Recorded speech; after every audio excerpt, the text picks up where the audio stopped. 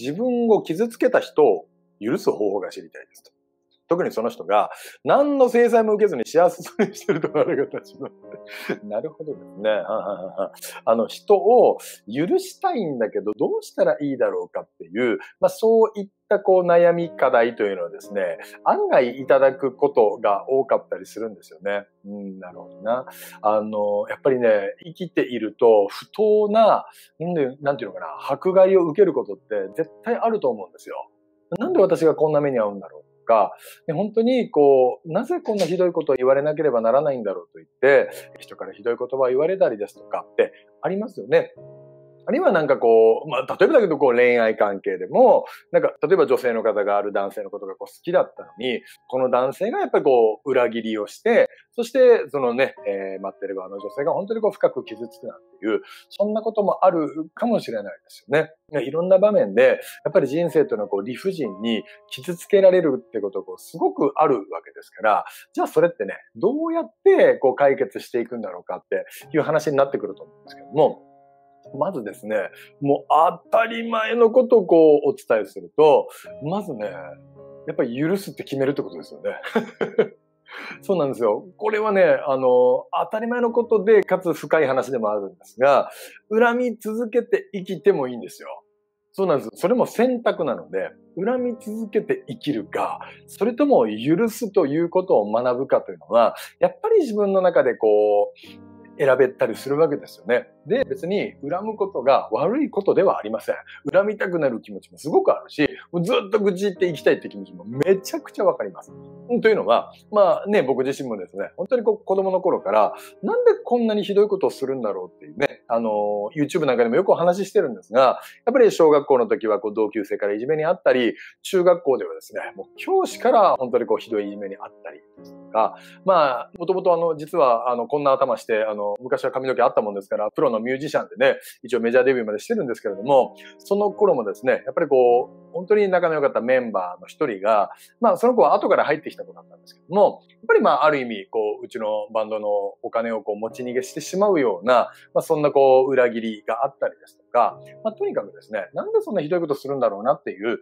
ことってやっぱあったわけですよ。それを、恨み続けて恨み続けて、生きていくこともできるし、でもね、こう許して生きていくこともできるんだと。うん。じゃあ、許したら向こうが調子に乗りませんかとかね。まあ、いろんなご意見あると思うんですけども、え、僕がちょっと思ってるのはですね、やっぱりこの、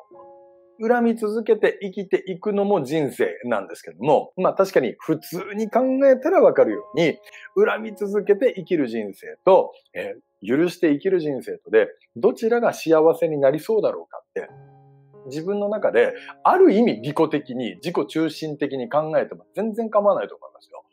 ね、どっちが自分にとって得になるだろうかって。こもうこの場合は損か得かで考えればいいですよね。そうです。恨む気持ちはわかるんだけれども、恨み続けると、それはずっとそんな人生になるかもしれない。けど、もしどこかで折り合いをつけて、許す気持ちが湧いてきたならば、それはそれね、本当に、えー、自分自身も成長するでしょうし、またもっともっともう自分を傷つけた人間とはもうあっさりこう縁を切ってですね、もっともっとこう素敵なじ、えー、人に出会って人生が変わっていくってこともあると思います。結局人生ってこう出会いが、まあ、で決まるわけなんですけど、誰に出会うか、何に出会うかで人生って全く変わっていきますよね。僕も例えばそのコーチングという学びに出会わなかったら、あるいはアドラー心理学作ったアドラー博士ですとか、そのカウンセリングに出会わなければ、全く違う人生だっただろうなって思います。でもそれに出会わなかったら、本当に今でもぬかるみの中でこう生きていたんじゃないかなとゾッとするぐらい。でもですね、あの頃の自分が、じゃあ何かこう、人を恨み続けて、ずっと悶々としながら生きていたとしたら、その出会いがあっただろうかって考えると、いや、ちょっとでもやっぱ前向きな気持ちだったりとか、前に向かって生きていこうって気持ちがあったからこそ、あの出会いってなんかこう、天から授かったんじゃないかなというふうにこう思うところもあるんですよね。なので、まあ、まずね、本当に1個目のポイントとして、えー、許すということを自分で決めてみるってこともいいのかもしれないですよね。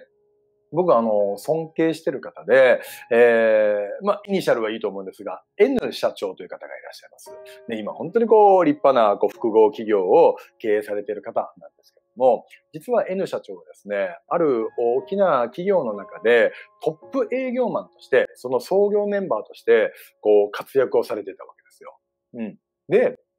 そこにですね、まあ、その同じ立ち上げグループとして、バリバリ働いて営業マンとして成果を上げていた。で、まあ、トップがいるわけですよ。まあ、トップも同じイニシャルで N なんで、えー、こっちは A にしましょうか。社長は A 社長ということです。で、この N さんは当時は営業マンですよね。ところが、この A 社長をはじめ、えー、この経営陣、同じこの立ち上げメンバーが、どうやらこの N さんのあまりの営業力、セールス力と、そして影響力、人間的魅力だったりに、恐れをなしたらしくて、もう、びっくりするような裏切りでもってですね、えー、彼をもある意味僕を罠にはめるように、あの、会社から追い落としたっていう、そういうエピソードがあるんですね。もう N さんは、なぜ自分がこんな目に遭うんだろうと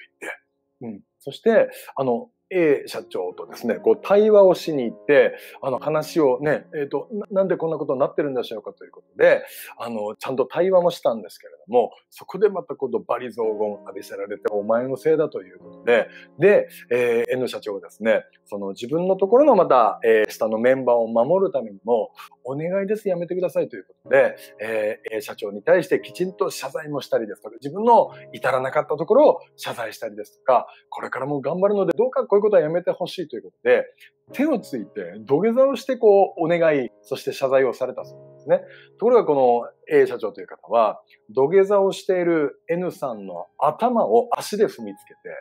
っていう、もう本当に普通に考えたらこれ傷害罪やんかというね、そういうもう人として、やはりもう最高の屈辱をこの N さんという方は味わい、そしてですね、もう完全に会社を離れてですね、新しく自分で会社を起こしたわけです。起こしたんですけども、えー、いわゆるこの A 社長たち、このグループでですね、今度はこの N 社長を、えー、いわゆるこう2チャンネルとか、インターネット上でですね、もうまたバリ雑言浴びせまくるわけですよ。一般市民の声であるかのように、この N さんは詐欺師だと。ね、こいつのせいでこんなに迷惑を被った人間がいっぱいいるみたいな、もうないことないことをそうやってネット上でこう書き立てて、で、もうこのね、N さんはじめ、え、一緒にこう会社を、ね、元の会社を出たグループというのは、ボロボロに傷つけられて、うん、中にはもう二十歳そこそこのこう女性の方もいらっしゃって、その女性の個人名とかももう全部こうね、2チャンネルとかでこうさらされて、えー、この方たちのこう家族まで、えー、ネット上で批判されてしまうような、もう本当に人としてね、これ以上の、えー、ビジネスパーソンとして悔しさがあるだろうかというようなね、そんな経験をされた方がいるんですね。それがこの N 社長というのは、えー、A 社長、もちろんね、どれだけ文句や愚痴を言っても、その足りないぐらい、やっぱり怒りも悲しみも悔しさもあるじゃないですか。で、この N 社長に対して、この下の人たちが言ったことがあるんですね。N 社長は、なんであの A 社長のことを、えー、怒らないんだと、訴えないんだと。あんだけ人としての屈辱を与えられながら、なぜなんだっていうことをこう聞いたときにですね、N 社長が何て言ったかというと、うん、A さんに対して、もちろんね、人として怒りとか悔しさもある。でも、A 社長のことを怒り続け、恨み続けている限り、彼を人としても、会社としても超えることはできないんだっていうことを言われたそうなんですね。その時にこのメンバーの方が、本当にこう打ちのめされて衝撃を受けて、そういうことなのか。でもちろん人間的にはもうすでに、そんなね、人に屈辱を与える、こう、A 社長よりも N 社長の方がよっぽど上だと思うんですけども、それでもなお、えー、自分にこの営業の技術を教えてくれたりとか、仕事を教えてくれたのは A 社長なんだと。だから俺は人としてそこの恩を忘れたくはないし、その恩を忘れたら人として終わりだと。その恩を大切にして彼に、えー、を恨むのではなく、彼への感謝の気持ちを忘れてしまったら、絶対に俺は彼を超えることはできないだろうって、もうね、これを語った時にもう私本当にね、もう涙を流してまあ感動したんですけども、そんな生き方、あり方も私たちは選べるってことですよね。これが、要は、私そんな生き方真似できませんと。それは N 社長みたいな立派な人だからできるのであってね、そんなご意見もあるかもしれないんですが、でもね、同じ人間なので、そして人として同じ選択というのは、私たちがこうできたりするわけですから、なので、えー、そうやってね、私がまず一つ目にこう言ったように、まず許すということを学ぶ大きなこう機会にもできるのかもしれないし、それがひょっとして人として大きく成長する機会であるかもしれないですよね。例えばこれが、ま、恋愛関係の話だったとして、ね、その、この質問いただいた方が、なんかこう自分を傷つけた男性とかが、だったとして、で、この人に対してもしこう恋愛感情も残ってる状態で、今の私と同じことをね、してこう許して、そして彼がこう幸せになっていく姿を応援するっていうのも、なかなか難しいと思うんですよ。うん、難しいとは思うんですが、きっとその、えー、許す力というのも、この質問者さんの中にあるんだと思いますし、うん。まあ、同じケースではないんですけれども、あの、私のまあ、お知り合いの女性の方が、まあ、あの、メッセージをくださってですね、まあ、要は失恋をしたんだと、大好きな男性がいたんだけれども、まあ、その方とこう恋愛実らなくて、本当にこう傷ついてしまった、片思いで終わってしまったと、勇気を出してこう告白したんだけれども、あの、本当にこう実らなくて、もうボロボロに傷ついてしまった、どうしたらいいですかっていうことをね、あの、ご質問いただいたときに、まあいろいろね、もちろん、こう、スタンダードにどうやって失恋を乗り越えていくかっていうことのアドバイスもさせていただきながら、最後に、え、僕が一文ちょっと載せたのがですね、ぜひ、その人の幸せも祈ってあげてくださいって言ったんですね。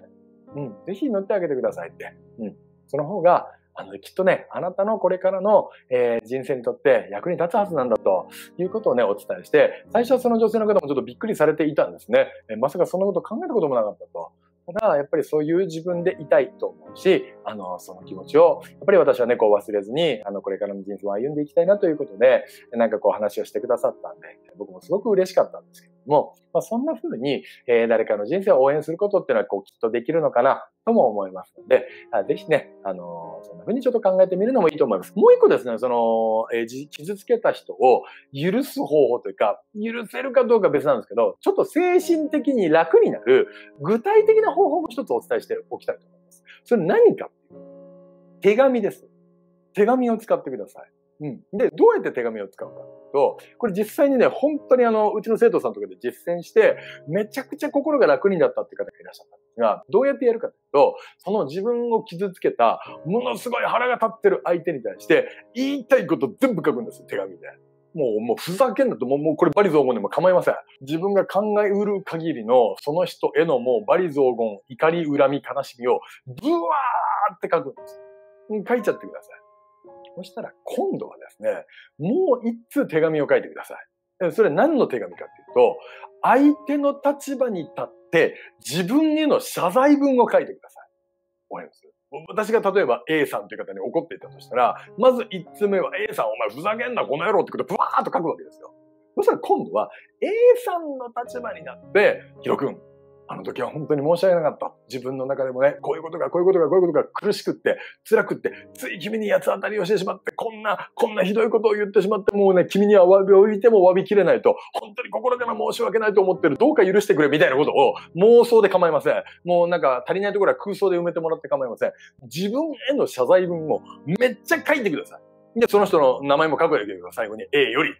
で、最後にもう一つ可能であれば、もうこの時点でもだいぶね、自分自身を俯瞰して、ちょっと冷静な気持ちも、えー、作れながら、かつお互いの立場に立って、ちょっと気持ちも楽になってる。で、これで終わりでもいいんですけども、最後にもう一つ、自分から許すよ、いいよっていう手紙を分かりましたと。A さん、そういうことだったのかと。ね、分かった分かったと。僕もちょっとその状況は分からなかったんだけど、そうか、あなたあの時にこんなことでイラついてたりとか、こんなことが悔しくて不安で、で、それを僕にぶつけてきたんだねと、分かった分かったと。じゃあ、今回は許すから、もう今後は気をつけてくださいね、みたいなことね。これから仲良くしましょう、みたいなことを書いて、津田博明と書いて、でも、でも別にどこにも出さなくていいですよ。もうなんなら別に燃やしちゃってもいいと思うんですけれども、そのお手紙のやり取りを脳内で、脳内でというか実際にやるんですけども、脳内の妄想でも書くと気持ちの整理はめちゃくちゃつきます。うん。かといって、相手との関係性がいきなり変わるかっていうと別にそうではないかもしれないんですが、でもね、この手紙を書いてみた結果、なんだか気持ちが楽になって、それこそ、なんかこの先方から、なんかこう、なんか予期しなかったようなこうメールが届いて、そこからまたこう関係性が不思議と改善していきましたみたいな。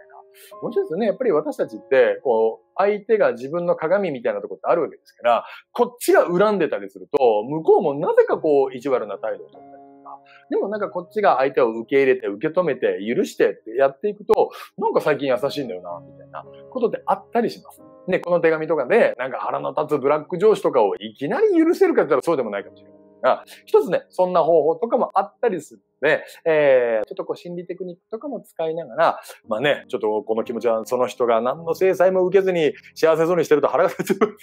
その気持ちはまあ本当にこうね、僕自身もわかるつもりではあるんですけども、ぜひね、ちょっとこの二つのアドバイスなんかをベースにしながら、えー、乗り越えていってほしいなと、そんな風に思います。ありがとうございます。